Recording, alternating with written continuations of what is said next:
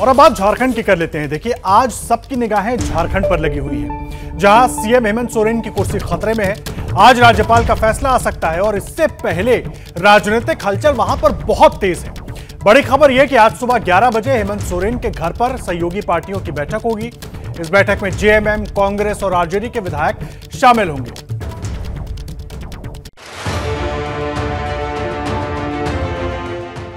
अभी कहाँ है? कौन बोल रहा है?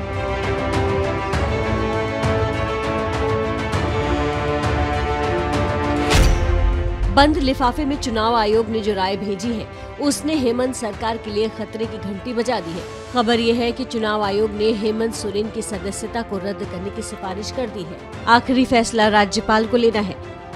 जो आपकी सूचना है और जो पता चल रहा है, और आपके माध्यम से और भी पुख्ता हो रहा है वो, कि इलेक्शन कमीशन ने अपना पत्र जो है गवर्नर साहब को भेज दिया है, जिसको चोरी और सीना जोरी कहते हैं, उनके लिए एक बड़ा सबक है। चुनाव आयोग का फैसला क्या है? इस बात की सूचना अभी सीएम आवास तक नहीं पहुँची है। निर्वाचन आयोग के फैसले पर आपके खिलाफ साजिश नहीं है क्या लगता है अभी कहाँ है? कौन बोल रहा है? चुनाव आयोग की सिफारिश को लेकर राज्यपाल रमेश वैश्य आज कोई बड़ा फैसला कर सकते हैं। मिली जानकारी के मुताबिक हेमंत सोरेन को जन प्रतिनिधि कानून उन्नीस सौ इक्यावन की धारा 9 ए उल्लंघन का दोषी माना गया है। इसलिए उनकी सदस्यता रद्द करने की सिफारिश की गई है। मुख्यमंत्री रहते हुए भ्रष्टाचार को भी बढ़ावा देने का काम किया। तो मुख्यमंत्री की जो 191 नाइन ए के तहत इनकी सदस्यता तो जानी चाहिए, साथ ही साथ जो एक्ट कहता है, इसको डिबार भी करनी चाहिए। सोरेन की कुर्सी पर खतरा क्यों मंडरा रहा है? पूरा मामला समझिए। बीजेपी डेलीगेशन ने फरवरी 2022 में आरोप लगाया कि सोरेन ने रांची के अनगढ़ा में अपने नाम से खनन पट्टा लिया। लिहाजा उनकी विधानसभा सदस्यता रद्द करने की मांग की गई। मामला सीएम हेमंत सोरेन से जुड़े। खनन, लीज और शेल कंपनियों में उनके और उनके करीबियों की हिस्सेदारी से जुड़ा है। आरोप है कि सीएम हेमंत ने अपने पद का दुरुपयोग कर स्टोन क्यूएरी माइंस अपने नाम आवंटित करवा ली थी। सोरेन परिवार पर शेल कंपनी में निवेश कर अकूत संपत्ति अर्जित करने का आरोप है। ये मामला सुप्रीम कोर्ट और चुनाव आयोग में गया। चुनाव आयोग का फैसला राजपाल भवन तक पहुँच गया है, लेकिन जेएमएम का सवाल है कि बंद लिफाफे का फैसला बाहर कैसे आया? यदि सीलबंद लिफाफा है चुनाव आयोग का तो वो गवर्नर साहब उसकी पुष्टि करेंगे। कोई सांसद उसकी पुष्टि नहीं कर सकता और यदि सांसद उस पर क्लेम करता है तो जो लॉ ऑफ़ द कोर्ट है, उसको अपना काम करना चाहिए। और उस पर पूरी जानकारी के लिए हमारे साथ हमारे दो सहयोगी रांची से जुड़े हुए हैं। ज्ञानेंद्र तिवारी हमारे साथ मौजूद हैं और प्रशांत जुड़ गए हैं। प्रशांत, हेमंत सोरेन के घर पर मौजूद हैं। ज्ञानेंद्र तिवारी हमारे सहयोगी लगातार पिछले कुछ दिनों से झारखंड के इस पॉलिटिकल डेवलपमेंट पर नज़र बनाए हुए हैं। ज्ञानेंद्र, मैं सबसे पहले आपके पास आ रहा हूँ। मुझे एक बात बताइए, आज क्या होने वाला है? बहुत महत्वपूर्ण दिन है। सबकी निगाहें लगी हुई हैं। क्या सुबुगाहट है सत्ता के गलियारों में? देखिए, कल से ही जब से राज्यपाल रमेश बैस दिल्ली से रांची आए हैं, तब से ये सुगबुगाहट तेज हुई है और बैठकों का दौर लगातार जारी है। कल भी मुख्यमंत्री हेमंत सोरेन के निवास में बैठक हुई थी और उसके बाद एबीपी न्यूज़ से एक्सक्लूसिव बातचीत में हेमंत सोरेन ने ये कहा था कि कौन कह रहा है ऐसा। राज्यपाल से भी एबीपी न्यूज़ ने एक्सक्लूसिव बात की थी और वो इसलिए क्योंकि ये बहुत बड़ी खबर है, एक मुख्यमंत्री की कुर्सी डगमगा रही है। ये तय है, ये तय है कोई सांसद के हवाले से नहीं कि जो चुनाव आयोग का फैसला है, वो बंद लिफाफे में पहुँच गया है। राज्यपाल रमेश बैस के पास। आज 11 से 12 बजे के बीच जो हमारे पुख्ता सूत्र बता रहे हैं, क्योंकि ये पत्र पहुँचने के बाद भी राज्यपाल रमेश बैस अपने अधिकारियों के साथ कल बैठक किए हैं और बैठक लंबी चली है। आज सुबह भी बैठक होने वाली है, जो राज राजभवन से हमारे सूत्र बता रहे हैं। और 11 से 12 बजे के बीच, जो मैं कल से कह रहा हूँ, एबीपी न्यूज़ कल से ये कह रहा है कि तीन साल, छह साल। सदस्यता तीन साल या छह साल के लिए रद्द होगी। बात अब उस पर अटक गई है और चर्चा उस पर हो रही है। तो ग्यारह से बारह बजे के बीच ये फैसला आएगा और इससे पहले जो है, मुख्यमंत्री हेमंत सोरेन भी बैठकर अपनी पूरी रणनीति बना लेना चाहते हैं और वो भी ये तय कर लेना चाहते हैं कि अगर मैं नहीं तो कौन? मुख्यमंत्री कौन? इस पर भी जेएमएम और महागठबंधन के तमाम साथी बैठक करके ये तय यही यही बड़ा सवाल है यही बड़ा सवाल है ज्ञानेंद्र और इसीलिए प्रशांत हमारे सहयोगी जो हैं मुख्यमंत्री के घर के बाहर से मौजूद हैं। प्रशांत आप मुख्यमंत्री के घर पर क्या हाल चले क्योंकि जिस तरह से ज्ञानेंद्र भी बता रहे हैं कि पूरी कड़ियाँ और सब कुछ पूरी स्थिति आगे की क्या होगी उसको लेकर अभी से रणनीति तैयार करने में जुट गए हैं मुख्यमंत्री। बिल्कुल बिल्कुल। देखिए, आदर्श, जैसा ज्ञानेंद्र बता रहे हैं, सबकी नज़र अभी फ़िलहाल जो पहले फैसला होना है, वो राजभवन से होना है। और राजभवन कब फैसला करेगा ज्ञानेंद्र कह रहे हैं कि आज ही फैसला होने की उम्मीद है।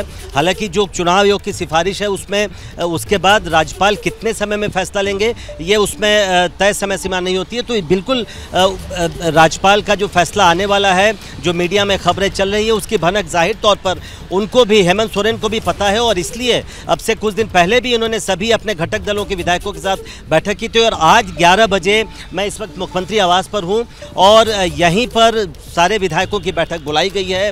जेएमएम के अपने उनके विधायक रहेंगे उसके अलावा कांग्रेस और आरजेडी के जितने विधायक हैं उनको भी बुलाया गया है। सभी संघ जो महागठबंधन के विधायक हैं उनको बुलाया गया उस बैठक में। और जितनी भी जो कुनबा है हेमंत सोरेन वो उसको अपना समेट कर उसके पहले ही रख लेना चाहते हैं। हेमंत सोरेन के बाद जैसा ज्ञानेंद्र बता रहे हैं कि अगर डिस्कालीफाई किया जाता है हेमंत सोरेन को तो उसके बाद उनके पास क्या क्या विकल्प हैं? और उन महागठबंधन के नेताओं के साथ उस पर ज़ाहिर तौर पर बातचीत कर लेना चाहते हैं अगर केवल डिस्कालीफाई किया जाता है तो ये माना जा रहा है कि हेमंत सोरेन इस्तीफा देंगे और दोबारा फिर से मुख्यमंत्री बनेंगे और तमाम जितने उनके घटक दल के हम्म। साथी हैं उनको समर्थन करेंगे। लेकिन क्या कोई और भी फैसला आता है जिसका इशारा ज्ञानेंद्र कर रहे हैं? तो अगर वैसा होता है तब क्या किया जाए? तब प्लान ऑफ़ एक्शन क्या हो? उस पर आज की बैठक में चर्चा होगी। तो ग्यारह बजे मुख्यमंत्री निवास पर यह महत्वपूर्ण बैठक होगी। जी। आप रहिए हमारे साथ और नज़र भी बनाकर रखिए कौन कौन से लोग पहुँच रहे हैं, क्या हालचाल है। ज्ञानेंद्र, मैं आपका रुख कर रहा हूँ। तीन साल या छह साल का ज़िक्र आपने किया।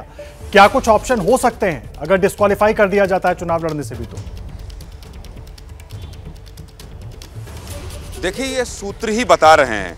और सूत्र जो बता रहे हैं, वो ये कह रहे हैं कि चूँकि फैसला अगर आ गया है, निर्वाचन आयोग ने कह दिया है और राज्यपाल पहुँच के उस पर मीटिंग कर चुके हैं तो ये देरी क्यों?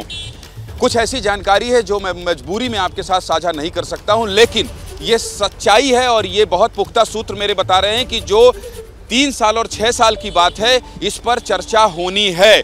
और अगर वो होता है तो निश्चित तौर पर यह मानिए कि फिर मुख्यमंत्री तो हेमंत सोरेन नहीं रह पाएँगे। अगर केवल सदस्यता रद्द होती है तो छह महीने में चुनाव लड़के दोबारा आ जाएँगे फिर से मुख्यमंत्री बन जाएँगे। तो कोई बहुत बड़ी बहुत बड़ा कारण नहीं होगा ये कहने का कि नहीं एक उस खनन मामले में इनको निर्वाचन आयोग ने फैसला दे दिया राज्यपाल ने ये कह दिया तो इनकी कुर्सी चली गई। ये पूरी कवायद देखिए राजनीति समझने वाले ये जानते हैं कि केवल सदस्यता रद्द होने के लिए ये सब कुछ नहीं हो रहा है। प्रावधान नियमों को पढ़ा जा रहा है और क्या क्या हो सकता है इस पूरी कवायद के पीछे कारण वो है कि आखिर मैक्सिमम क्या हो सकता है इस पर चर्चा हो रही है बात हो रही है और मेरी लगातार मैं लगातार उन लोगों के संपर्क में हूँ लेकिन जब तक फैसला ना आ जाए तो कोई भी कुछ भी कहने से इसलिए बच रहा है क्योंकि आपको याद होगा निशिकांत दुबे कल इस मामले पर बोल रहे थे तो जेएमएम ने अभी भी आप हम एबीपी न्यूज़ ने बाइट सुनाई कि जेएमएम ने यह सवाल उठा दिया कि बंद लिफाफे का आयोग का फैसला किसी सांसद को कैसे पता चल गया? तो अभी फ़िलहाल लोग इससे बच रहे हैं और जेएमएम के जो मंत्री हैं वो ये कह रहे हैं कि अभी तो बच्चा पैदा ही नहीं हुआ है तो ड्रेस क्या पहनेगा? फ्रॉक या शर्ट? ये हम कैसे तय कर दें? इसी पर चर्चा हो रही है, बस एक निर्णय और उसके बाद तय हो जाएगा हेमंत सोरेन के भविष्य पर फैसला। लेकिन ज्ञानेंद्र मैं प्रशांत के पास जाऊँ एक बार फिर आपके पास आ रहा हूँ। एक चीज़ समझाइए अगर मान लीजिए जो अभी तक सूत्र बता रहे हैं उस तरह से फैसला आता है उसी तरह से सब कुछ स्थिति बनती है तो सीएम कौन हो सकता है? इसको लेकर के भी कयासों का दौर तो चल रहा है झारखंड के अंदर।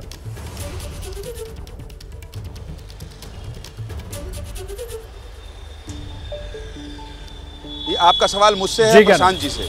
ज्ञानेंद्र आपसे ये सवाल।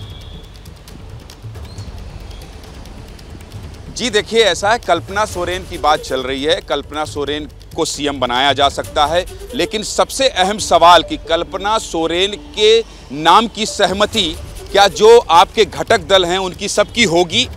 और क्या जो आप कहेंगे वही सब मान लिए जाएँगे, क्योंकि एक दर्जन करीब ऐसे विधायक हैं जेएमएम कांग्रेस से जो अलग अलग राग अलापते रहते हैं। और जब किसी को ये अवसर मिल जाए और वो समझ जाए कि इसका स्क्रू थोड़ा ढीला हो रहा है या कहीं न किसी भी पैमाने पे ये थोड़ा कमज़ोर साबित हो रहा है तो ऐसे में सबकी महत्वाकांक्षा जागती है। तो अभी शिबू सोरेन हो सकते हैं, कल्पना सोरेन या सोरेन परिवार से, लता सोरेन, बसंत सोरेन, कौन होगा? या इसके अलग कोई और होगा? इस पर देखिए, ये जो बैठकों का दौर मुख्यमंत्री निवास में, जहाँ से प्रशांत जी लगातार ये जानकारी दे रहे हैं, वहाँ बैठक और मंथन के बाद निकलकर सामने आएगा। अभी तो जेएमएम ये मानने को ही तैयार नहीं है कि ऐसा कुछ हो रहा है कि हेमंत सोरेन की कुर्सी जा रही है, क्योंकि जेएमएम के नेताओं से भी बात हो रही है, उनके महासचिव से बात हुई, मंत्रियों से भी बात हुई। जो कि झारखंड सरकार में है वो ये कह रहे हैं जब तक फैसला ना जाए। हेमंत सोरेन से एबीपी न्यूज़ के एक्सक्लूसिव बात हुई तो उन्होंने कहा कौन कह रहा है? मतलब अगर जेएमएम की माने तो कुछ हो ही नहीं रहा है सब कुछ ठीक चल रहा है। वो फैसला आ जाए उसके बाद धीरे धीरे धीरे धीरे। अब चूँकि प्रशांत जी मुख्यमंत्री निवास में है अंदर की खबर क्या आती है घटक दल के लोग क्या निर्णय लेते हैं हेमंत सोरेन क्या कहते हैं इस पर जैसे ही कोई खबर होगी सबसे पहले एबीपी न्यूज़ में क्योंकि एबीपी न्यूज़ झारखंड में मचे सियासी उठापटक की खबर सबसे पहले देश को और दर्शकों को दिखा रहा है। आदर्श। जी ज्ञानेन्द्र, आप रहे प्रशांत। आप सबसे महत्वपूर्ण जगह पर आज खड़े हैं, जहाँ पर लगातार सबकी नज़र बनी रहने वाली है। क्या हलचल है एक और दूसरा? कोई रास्ता नज़र आ रहा है हेमंत सोरेन के सामने? क्योंकि सूत्रों की तरफ़ से जो बातें आ रही हैं, उसको देखकर तो लगता नहीं है। जी, देखिए, आदर्श कानूनी स्थिति ये है कि चुनाव आयोग ने एक रिपोर्ट भेजी है। गवर्नर को गवर्नर उस पर फैसला लेंगे, संभवतः आज ही फैसला ले लेंगे। तो डिस्कालिफिकेशन होगा ये मिनिमम ये माना जा रहा है। और ऐसी अटकलें हैं कि ये तो होगा ही। ये तो चुनाव आयोग ने सिफारिश भेजी है क्योंकि याद रखिए आदर्श कि गवर्नर चुनाव आयोग की सिफारिशों से बंधे हैं।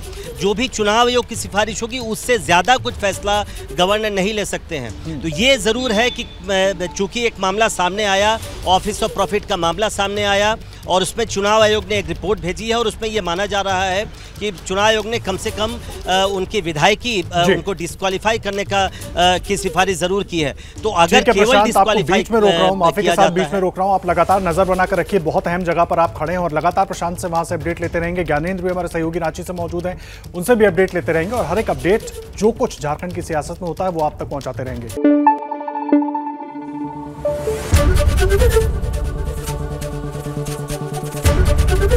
एबीपी न्यूज़ आपको रखे आगे।